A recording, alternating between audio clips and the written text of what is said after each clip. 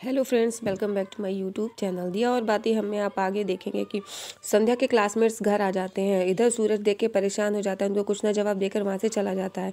फिर चतुरी आती है कि उनको सब समझाती है और ये बात वो सूरज को बता रही है कि, कैसे संध्या के क्लासमेट्स को उसने सारी बातें समझाई हैं कि वो सूरज शाह को गलत समझ रही थी कि वो बता रही है कि चतुरी कह रही है कि संध्या जी के घर वालों को उसका पढ़ना बिल्कुल अच्छा नहीं लगता, जिसमें सूरज शाह उसकी मदद कर रहे हैं।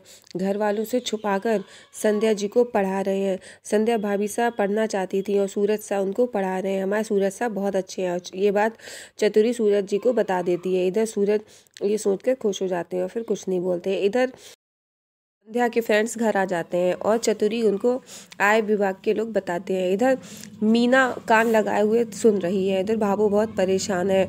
इधर आप देखेंगे, मीना ध्यान से सुन रही है। इधर संध्या के फ्रेंड्स देखते हैं कि बाबू परेशान है और उनको और परेशान किया जाए। वो संध्या को परेशान करती है, इसलिए वो लोग बाबू को परेशान कर रहे हैं और वो कहती है कि आपका घर तो हवेली जैसा है और मार्केट के पास भी है। इधर फिर वो कहती है कि आपका हवेली जैसा घर है और आपने गोल्ड भी बहुत पहना हुआ है, पैरों में, हाथों में, गले में और ये सब गोल्ड ही तो है। फिर वो देखती है और कहती है कि, ज़रा दिखाइए तो। मीना कहती है कि, वो सब नकली है। तो संध्या की दोस्त उसे ले लेती है उसके हाथ के कड़े और चेक करती है और फिर आप देखेंगे भाभो वो हाथ के कड़े निकाल कर दे देते हैं। इधर मीना परेशान होती है, कहती है, ये नकली है, चतुरी सब देख रही है। इधर एमडी जो है, सब उस गहने चेक करने लगती है और बाबू को बहुत परेशान कर रही है। फिर आप देखेंगे कि कि बाबू का पीएनटी फ़ोन बचता है। और भाभू उठकर फ़ोन कॉल देखने जाती हैं। संध्या ने भाभू को कॉल किया है, ये पूछने के लिए कि उसके घर रूम का पंखा चल नहीं रहा था, पंखे वाले को ले आए तो भाभू उसको डांट के बुलाती है कि बाज़ार घूमने लगी है, घर आ जा इधर एमली देखती है कि वो अपनी बहू से कैसे बात कर रही है तो वो डांटती है कि ये आप बहू से अपनी कैसे बात करती हैं, ये कोई तरीका है अपनी बहू से बात करने का? मुझे नहीं पता आपकी बेटी है कि नहीं है, लेकिन वो भी कल को किसी के घर जाएगी, उसके साथ भी ऐसा बर्ताव हो तो तो मीना कहती है कि मेरी भाभू का गर्म मिजाज है, वो ऐसी ना है। फिर एमली कहती है कि आप अपनी बहू से ऐसे नहीं बात कर सकती हैं। आप अपनी बेटी के बारे में सोचिए। आपकी भी तो बेटी है। आपकी बहू भी किसी के घर की बेटी है और एमली उस भाभू को बहुत सुनाती है। फिर आप आगे देखेंगे कि भाभू बहुत परेशान है और कुछ नहीं बोलती है। उसकी बातें सुनती है। बाबू को बहुत गुस्सा आ रही है। फिर आप देखेंगे वो लोग चले जाते हैं। इधर भाभो मीना को फिर डांटती हैं। मीना कहती है भाभो आप हुक्म दो, मैं जान दूँ। मैं आपकी सब बातें मानती हूँ। भाभो कहती है हाँ हाँ रहने दे। मैं जानती हूँ तुझे। फिर मीना कुछ नहीं बोलती है। मीना कहती है सॉरी भाभू मुझे माफ़ कर दो। और भाभो कहती है कि, कल की छोरी और मेरे साथ ऐसा बर्ताव कर रही है, बड़ों से बात करने की तमीज़ नहीं है। उधर फिर आप आगे देखेंगे कि वो लोग जा रहे हैं और संध्या उधर से आ रही है तो अपने फ्रेंड्स को जाता हुआ देख कर कहती है, ये लोग यहाँ क्यों आए थे? लग रहा भाभो को सब कुछ पता चल गया है।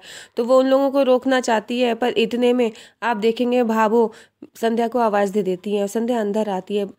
तो संध्या कहती है भावो मुझे माफ़ कर दीजिए। उन्होंने उन लोगों ने क्या कहा? तो फिर मीना कहती है कि संध्या जेठानी जी, आप क्यों माफ़ी मांग रही हैं? इसमें आपकी क्या गलती है? वो तो आयकर विभाग के लोग थे और भाभो को बहुत परेशान किया। उन्होंने बहुत उल्टी सीधी सुनाई। वो लड़की तो बहुत परेशान कर रही थी। फिर वो कुछ नहीं बोलती हैं। संध्या चुप हो जाती है। मीना कहती है कि, वो छोरी तो बहुत बुरी थी। फिर आप देखेंगे, चतुरी देख रही है और कुछ नहीं बोल पा रही है। संध्या सोच कर चली जाती है। संध्या सोचती है, बाबू ने पढ़ाई को लेकर तो कुछ भी नहीं कहा। आखिर ऐसी क्या बात हो गई? सोचती रहती है। फिर आप आगे देखेंगे कि संध्या सोच रही है, बाबू ने पढ़ाई को लेकर तो कुछ भी नहीं कहा। आखिर उन लोगों ने बाबू से क्या कहा, वो सोच रही है। फिर चतुरी कहती है कि, भाभी सा आपकी पढ़ाई के बारे में बाबू को अभी कुछ ना पता चला। फिर संध्या सोचती है, इसको कैसे पता? तो चतुरी कहती है कि, मुझे सब कुछ पता चल गया और सूरज शाह के लिए मेरी दिल में इज़्ज़त और भी बढ़ गई है।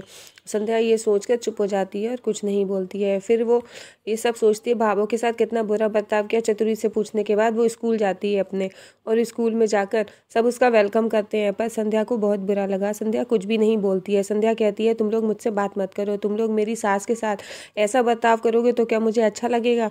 वो मेरी माँ है और तुम लोग मेरी माँ से इस तरह से बात कर रहे थे। तुम लोग जाओ, अपना एंजॉय करो, मुझसे बात मत करो, मुझे तुम लोगों से बात नहीं करनी है। इतने में उसके दोस्त लोग कहते हैं कि, संध्या तुम मुझे माफ़ कर दो, मुझसे गलती हो गई है। आगे से मैं कभी ऐसा नहीं करूँगी, मुझे मौका मिला तो मैं तुम्हारी सास से माफ़ी भी मांगूँगी। हमें माफ़ कर दो और हमसे बोलो प्लीज़ हमसे ना बोलो गुस्सा मत हो प्लीज़ संध्या सॉरी संध्या। फिर संध्या उनकी बात मान जाती है। तो फिर अब आप आगे देखेंगे कि सब खुश हो जाते हैं और संध्या उनके साथ बोलने लगती है। फिर आप आगे देखेंगे कि सब लोग कहते हैं कि संध्या मुझसे गलती हो संध्या कहती है, तुम्हें अपनी पछतावा गलती का तो चलो ठीक है। फिर उसकी क्लास का एक लड़का कहता है कि, हो सकता है तुम्हारी सास को आज ही सच पता चल जाए। और संध्या सोचने